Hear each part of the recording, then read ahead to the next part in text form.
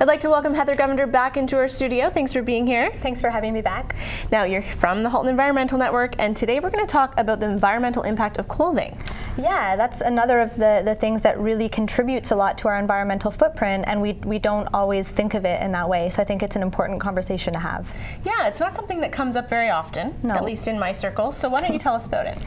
Well, there, there are a few things. There's everything that goes into making clothing. It takes a lot of energy and a lot of resources, a lot of water to make all of our clothing, and it's the fastest growing component of our landfill waste because most of the clothes that we get are either synthetic fibers or mixed fibers, so they're not easily recyclable and they eventually end up in a landfill. And there's additional problems with synthetic fibers, is there not? Yeah, when we wash our synthetic clothes, you, you may have heard of microplastics ending up in oceans, and some of that is from things like microbeads, which are in the news more and more. But a lot of it is from the fibers from our clothing. The, the tiny little fibers that come off every time we wash them end up in the oceans and then in plankton and then in fish and sometimes even in people and the other animals who eat fish. Wow. So what about when people say, well, I buy my clothes, but I, I, make sure I donate them afterwards? And that's a great thing to do. It is great to, to donate your clothes if they're still in good shape.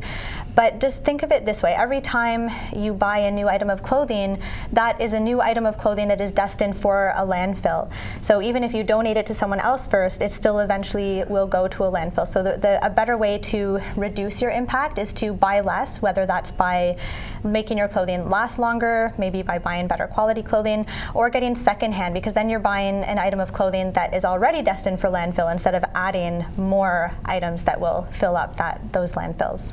Was there anything else that was important that you wanted to share with our viewers today?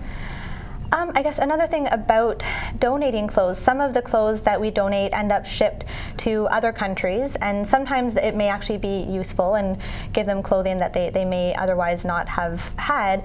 But some we end up sending way more than anybody could ever want, and then hmm. it just ends up going to their landfills instead of ours. So it's just passing off the problem onto somebody else. Interesting. Okay, so there's an upcoming solution at one of your events that there are being held. Is. We're, we're holding a really big garage sale event on Saturday, May 26th, and one of the things that's going on at that event is a clothing swap run by the Oakville Parent Child Center.